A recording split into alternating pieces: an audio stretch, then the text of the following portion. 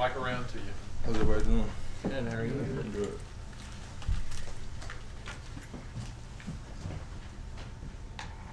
It's kind of a two-part question for you. Uh, potentially your last game at Sanford Stadium this past Saturday. What was it like to have guys like Nolan and Jordan there before the game? Like how much of an emotional, emotional boost that was, and then uh, just what's your favorite moment at Sanford Stadium?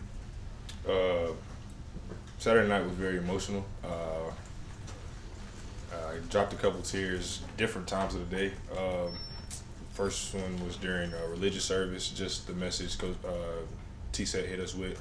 Um, seeing my parents, seeing my family, and then right after right after the game, just dapping everybody up and just embracing embracing those guys and having Nolan and Jordan uh, back. It was it was huge. Um, just just always see those guys. Not even in, in, a football stadium. Just like when you see them, like when they come back to town, just just sit down and talk with them. Just just ask them how it's going at the next level and just pick their brains a little bit. But um, my favorite memory. Hmm probably probably just dapping everybody up after that last, just knowing that was my last time and just enjoying it pre-game, during the game, just actually getting the younger guys go out there and play and, and dominate and just having fun, honestly. Being from Tennessee, did you grow up a Tennessee fan? You know, what was your involvement with the Vols during the recruitment process, and you know, just thoughts on going back to your home state? Um, I wasn't a huge Tennessee fan growing up. Uh, my family is. I, I, was a, I was always a basketball fan, so I was a Kentucky guy. Um, I was the, the huge John Calipari John Walls, the DeMarcus Cousins, all those. Um,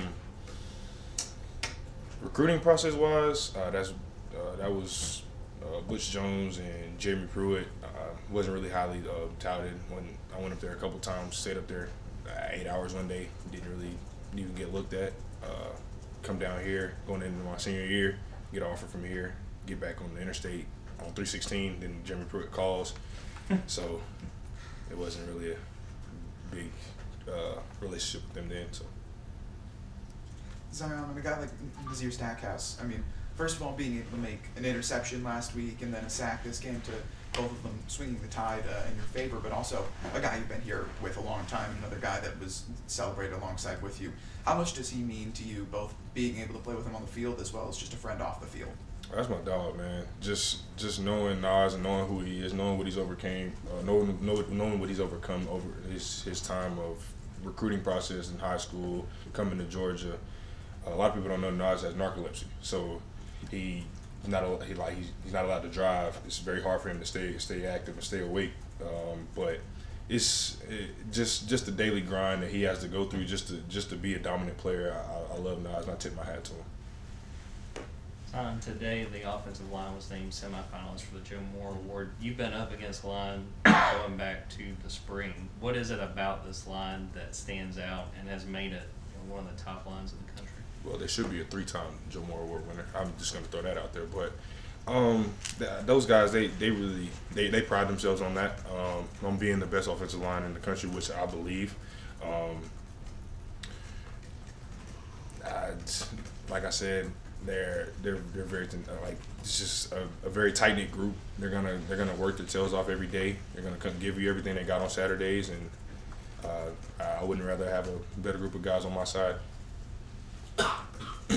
yeah, Kirby uh, didn't seem too happy with how practice went today. Just as one of the, the veterans, the leaders of this team, what does I guess tomorrow look like for you, and making sure it doesn't happen again leading into the game this weekend?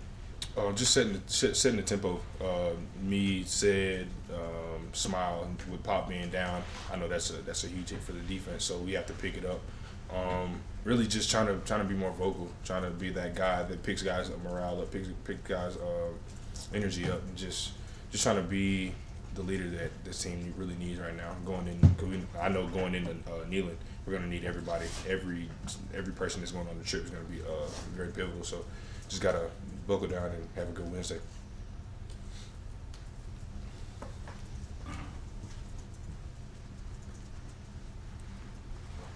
you know the legend of Brock Rock song, but the, the average recovery time for Georgia players dealing with that tightrope surgery has been eight weeks and then he comes back in 26 days. When did you first start noticing that? Hey, you know he's he's getting pretty close. He's out here, and were you ever surprised? Is there any? You guys talk about it like in the diner when you're in there Eating unless you believe this guy. I mean, it's just how Brock's been since he's been here day one. He's not gonna let anything hold him down. Not gonna let anything hold him back. So he's gonna work his tail off to get back, and he loves playing football. So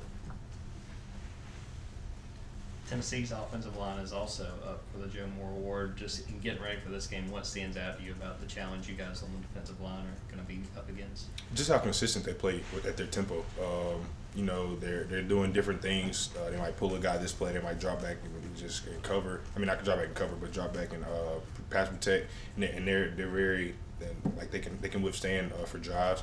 And they're just a very uh, tight knit group as well. Like I know a couple guys that go to Tennessee, Tyler Baron. He talks about how, how, how well they are um, how, how, during practice and stuff like that. So, just it's gonna be a, a big time matchup. I feel like. You mentioned uh, Pop's voice being an absence in the locker room, and on Saturday it was an absence too. But enter C.J. Allen. I know that Smael's been there and done that. He's but on the field, just being on the field with him, what was his voice like? And uh, was it like confident, strong, like he was getting everybody in the right spot? Because he had a big game. I was just wondering. C.J. Allen? Yeah, if he was just like super comfortable and he's already can be step up and be that guy. Uh, he's very mature for a freshman, man. Uh, he kind of gives me flashes of Nakobe Dean, uh, just because he's that guy that's in the meetings. He's taking he's taking every note from from punt to PBR to if he's on KOC or KOR. He's taking every note to to know where he needs to be. Um, it's the same way for defense. Like he knows every check. He knows he's he's like he's very vocal with it. He's going to be a very good linebacker in this system. Zion, uh, we've talked to Coach Smart a good bit about how effective Tennessee's run game is. What stands out to you about the way they run the ball, and what do you guys have to do to try to slow them down? Uh, just the way they can go from running the ball to getting it out of the getting out of the, the edges to to the guys like Squirrel, to guys like um, uh, Ramel. Um, they, they do a, they have a very good balance um, and, and, and they play good com- complementary football. They, they know how to run the ball, they know how to pass it. So we just got to be able to uh, get our cleats in the ground and play football. Any more questions for Zion? All right, Zion, thank you, sir. Thank Thanks, Zion.